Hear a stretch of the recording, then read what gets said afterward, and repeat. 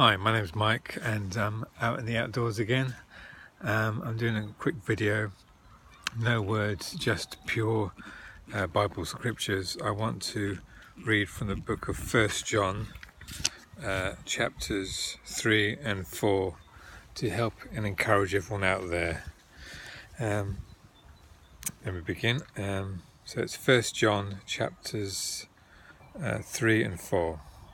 See what kind of love the Father has given to us, that we should be called children of God, and so we are. The reason why the world does not know us is that it did not know Him. Beloved, we are God's children now, and what we will be has not yet appeared. But we know that when He appears, we shall be like Him, because we shall see Him as He is. And everyone who thus hopes in Him purifies him, himself as he is pure. Everyone who makes a practice of sinning also practices lawlessness. Sin is lawlessness. You know that he appeared in order to take away sins, and in him there is no sin. No one who abides in him keeps on sinning. No one who keeps on sinning has either seen him or know him. Little children, let us let no one deceive you. Whoever practices righteousness is righteous as he is righteous. Whoever makes a practice of sinning is of the devil, for the devil has been sinning from the beginning. The reason the Son of God appeared was to destroy the works of the devil. No one born of God makes a practice of sinning, for God's seed abides in him, and he cannot keep on sinning because he has been born of God. By this is evident who are the children of God and who are the children of the devil. Whoever does not practice righteousness is not of God, nor is the one who does not love his brother. Love one another, for this is the message that you have heard from the beginning, that we should love one another.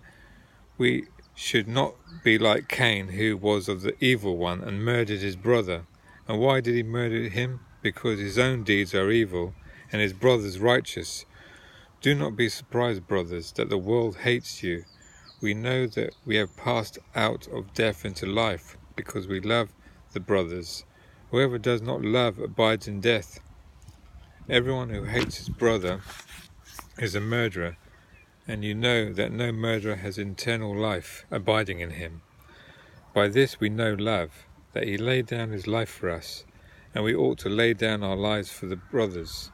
But if anyone has the world's goods and sees his brother in need, yet closes his heart against him, how does God, God's love abide in him? Little children, let us not love in word or talk, but in deed and in truth. By this we shall know that we are of the truth and reassure our heart before him. For whoever our heart condemns us, God is greater than our heart, and he knows everything. Beloved, if our heart does not condemn us, we have confidence before God. Whatever we ask, we, sh- we receive from Him, because we keep His commandments and do what pleases Him.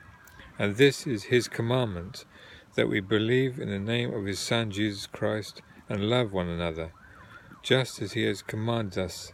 Whoever keeps His commandments abides in God and God in Him. And by this we know that He abides in us, by the Spirit whom He has given us. Beloved, do not believe every spirit, but test the spirits to see whether they are from God. For many false prophets have gone out into the world. By this you know the Spirit of God. Every spirit that confesses that Jesus Christ has come in the flesh is from God, and every spirit that does not confess Jesus is not from God. This is the spirit of the Antichrist, which you heard was coming and now is in the world already. Little children, you are from God and have overcome them. For he who is in you is greater than he who is in the world. They are from the world, therefore they speak from the world, and the world listens to them. We are from God.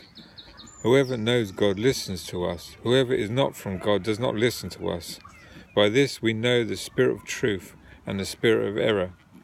Beloved, let us love one another, for love is from God. And whoever loves has been born of God and knows God. Anyone who does not love does not know God, because God is love. And in this the love of God was made manifest among us, that God sent his only Son into the world so that we might live through him.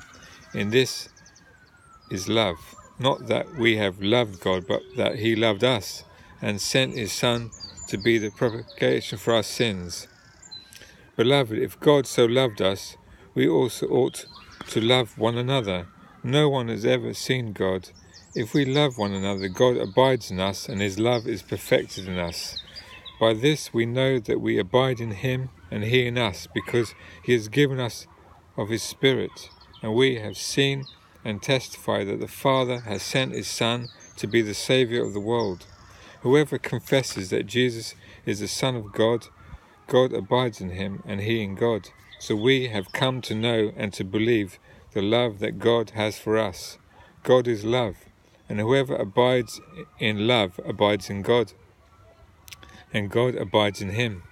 By this is love perfected with us, so that we may have confidence for the day of judgment, because as he is so also are we in the world.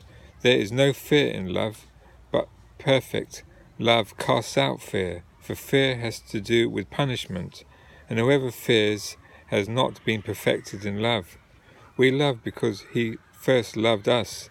If anyone says, I love God and hates his brother, he is a liar, for he does not lo- not love his brother, whom he has, he has seen, cannot love God, who he has not seen. And this commandment we have from him whoever loves God must also love his brother. I took that from uh, 1 John chapters 3 and 4. And I'll end it there and say, uh, God bless you all. And anyone who hasn't come to the Lord Jesus Christ, please do so in prayer and repentance. God bless you all. I think little Leo is starting to wake up now. But there's a little brief view there, sleeping there, he's still sleeping. Yeah, he's still sleeping. God bless you all. Bye bye.